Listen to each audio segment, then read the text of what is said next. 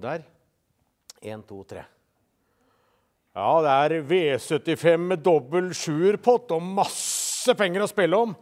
Her står en av mine nøkkelhester denne lørdagen.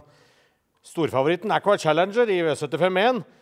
De tror han kommer til tet, men det gjør han ikke. For her står jeg sammen med KLM by Me som er raskere enn selveste Rudolf på startsida. Og denne karen her, han duger med Eirik Høytom til sulken fra spor 7 på 2000 meter, 2100 meter alle dager til jul. Ho, ho, ho.